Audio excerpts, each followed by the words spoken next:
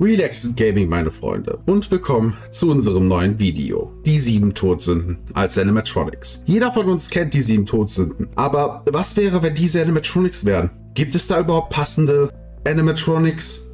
Und wenn ja, welche wären das? Um das herauszufinden, müsstet ihr dieses Video gucken. Doch bevor ich das tue, guckt doch erstmal, ob ihr sieben herausfindet und haut sie in die Kommentare. Vielleicht kommt ja eine coole Diskussion auf. In dem Sinne, viel Spaß mit dem Video. Die erste Sünde ist die der Lust. Toy Chica ist wohl der beste Pick. Ich meine, passiert in den Spielen ja nicht mal was. Also, sie macht dort nichts Anstößiges. Trotzdem ist sie wohl einer, wenn nicht sogar der meist gesuchte Charakter auf gewissen Websites. Ich meine, guckt euch mal die Aufrufzahl von ihr in Rule 34 an. Wait, was ist nochmal meine Zielgruppe? Oh shit. Nein, nein, nein. Äh, mit R34 meine ich den Nissan Skyline. Ich, boah, was eine geile Maschine. Äh, ich meine das Auto. Oh, scheiß drauf. Toy Chica wird ganz oft seltsam dargestellt, deswegen ist sie die Sünde. Und äh, weiter möchte ich das euch nicht erklären. Ihr seid eine 12. Verdammt. Völlerei. Glamrock Chica. Holy shit, Chica, du bist der Inbegriff von Sünde. Ich meine, Völlerei beschreibt das sinnlose Vollstopfen oder die Übereinnahme von Ressourcen.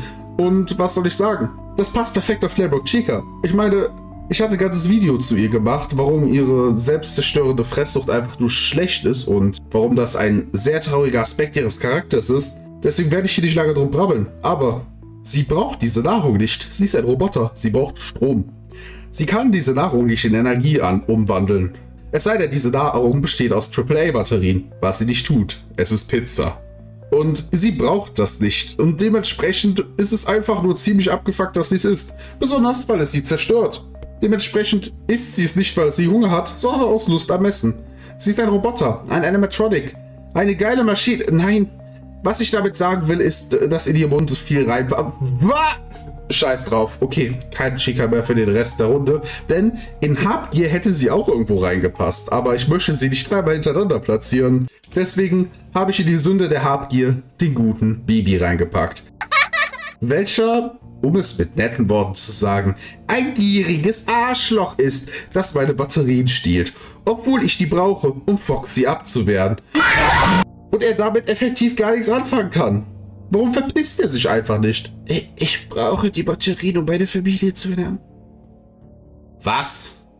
Ja, ich habe einen Job verloren und meine Familie braucht Energie. Und die ziehen wir aus der Batterie. Echt? Aber warum, warum lachst du mich dann aus, wenn du sie klaust? Weil du Wichser dann stirbst. Lol, du Kleiner. Faulheit. Toy Freddy ist mit Abstand die beste Wahl, wenn es um ein Faulen einer Metronic geht. Okay Leute, in FNAF 1 bewegt er sich einiges und man muss auch sagen, dass er äußerlich gar nicht mal so unfaul wirkt. Ich meine, er ist gut gepflegt. Was er nicht selber macht, weil er ist eine Maschine. Und er ist ein bisschen von der korpulenteren Natur. Was ja nicht schlimm ist. Trotzdem scheint er nicht gerade die Sportskanone zu sein. Aber sein Design ist ja nicht seine Schuld. Was aber seine Schuld ist, ist sein Verhalten in Ultimate Custom Night. Denn hier ist er nur am Gamen. Es ist die ganze Runde vom PC und verkackt auch noch. Das heißt, spielt ihr sein Spiel nicht für ihn, verliert er dort drin.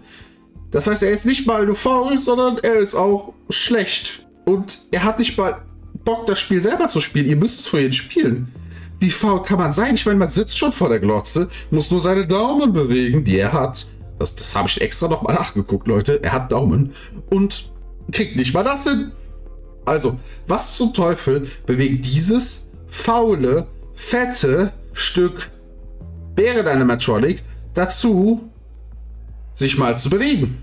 Genau, wenn er in seinem scheiß Videospiel verliert, weil er zu faul war, die Regeln davon durchzulesen, Dialoge zu lesen, Erik, oder zum Beispiel einfach mal selber zu spielen. Das ist der Inbegriff von faul und wenn er es verkackt, reitet er zu uns ins Office und versucht uns umzubringen. Dementsprechend ist es ziemlich cursed und eine gute Repräsentation von Faulheit. Nun, der wohl von Monty am besten wieder gespiegelt wird. Ja, ich hatte William Afton auch. Aber William Afton ist einfach nochmal ein Stück böser.